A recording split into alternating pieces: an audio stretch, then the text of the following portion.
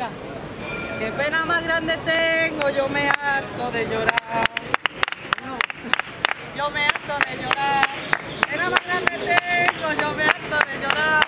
Cuando veo a mi chiquillo metido en un hogar. Metido en un hogar. Sin ropa y sin lavadora y sin poder escolarizar. Sin ropa y sin lavadora y sin poder escolarizar. Bueno, pues estamos aquí eh, porque la función a la vivienda sigue siendo igual, no hay voluntad política, tenemos tres familias en, riesgo de exclusión total, sin alternativa habitacional, una de ellas ha sido lanzada por la empresa municipal de la vivienda de Sevilla. Mm, Soy Elisa Torres Suárez, Mm, he llegado a este punto porque estuve de, de una vivienda ilegal. En febrero me mandaron la citación de juzgado, que un mes tenía que, que irme de la vivienda.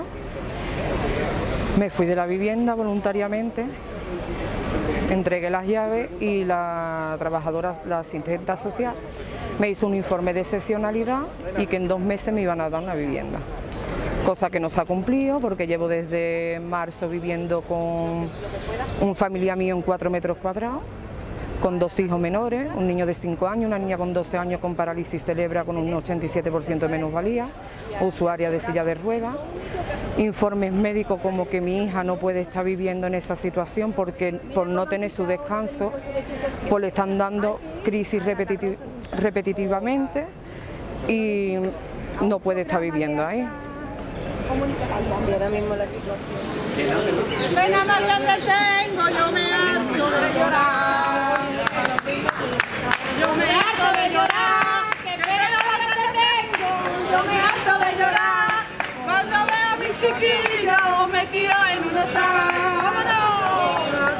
¡Vamos todos! Metido en un hostal, claro, sin ropa ni lavadora y sin poderlo escolarizar. Sin ropa ni lavadora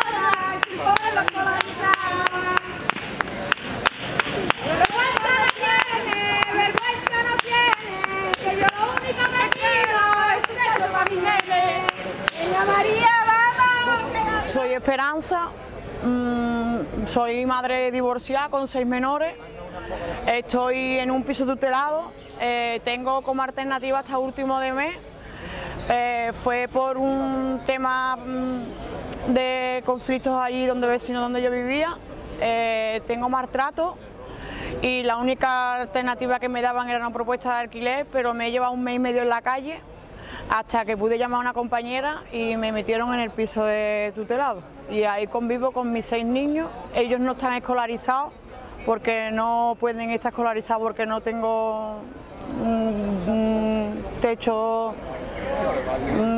propio, no tienen cartilla del médico tampoco, porque también se quedaron todas las cosas allí y tampoco puedo solicitarla porque tampoco eso es un piso tutelado, no puedo dar mi dirección y no tienen nada. Estamos con una mano adelante y una mano atrás hasta que nos digan lo que sea.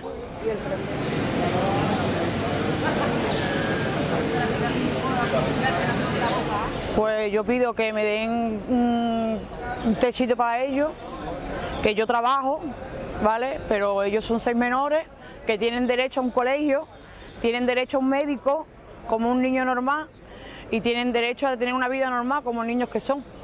Y yo estoy sola con ellos yo no tengo a nadie.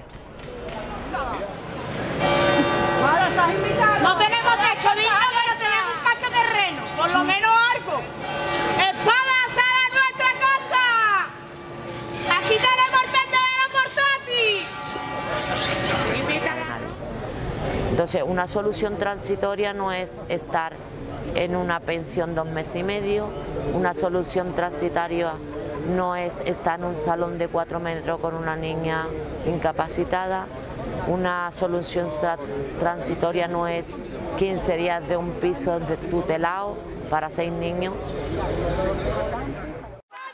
¿Qué pasa? ¡Que no tenemos casa! ¿Qué pasa? ¿Qué pasa? ¡Que no tenemos casa!